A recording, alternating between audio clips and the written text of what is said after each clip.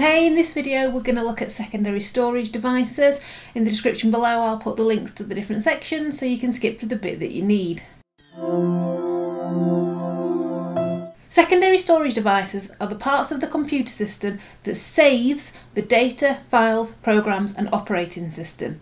The key part of this definition is saves. You can't use the word stores to explain what a storage device does, so the word you need is saves. The secondary storage device is a key part of the system. If the secondary storage device fails, then all of your files, data, pictures, games, game progress and anything like that will be lost. All types of secondary storage are non-volatile. That means that when the computer system is turned off, the contents remain. Sometimes the exam board refer to them as storage devices rather than secondary storage devices, but it means the same thing.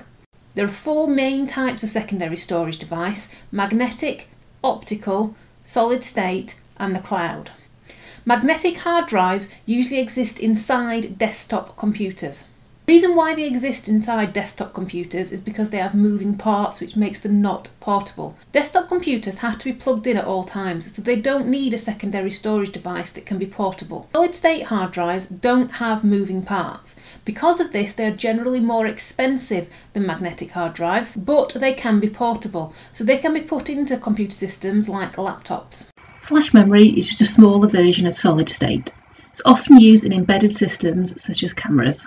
Optical storage is the correct name for CDs, DVDs and Blu-rays. These generally don't have very large capacity, so that means they can't store a lot of data. So they're often used for backups.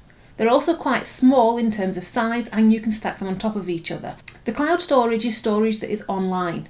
You can't physically see it or touch it, a big advantage of cloud storage is that usually it saves things automatically. So if you're working on a Google Docs file, for example, you don't need to keep pressing save, it will save automatically. If you are working and saving your files to secondary storage and the secondary storage device fails, all of your files will be lost. If you want to add more secondary storage to your computer, it won't make the computer faster. Generally speaking, it doesn't affect how quickly your computer runs. Deciding which of the four types of secondary storage is right for your computer system comes down to the positives and negatives that each has. Capacity refers to how much data can be stored on the device. Cost refers to how expensive or cheap the device is.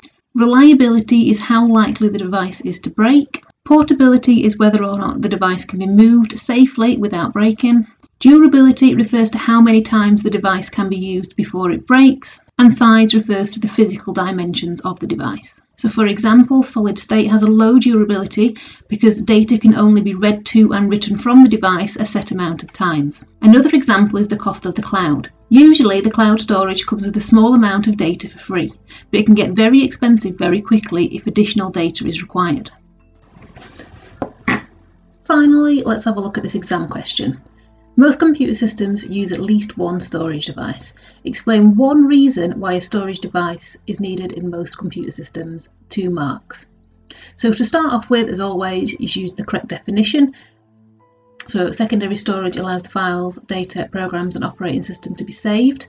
You then need to explain, well, why does it need to do that? The main reason is because it's non-volatile. So this means that even when the power is switched off, all of the contents would remain.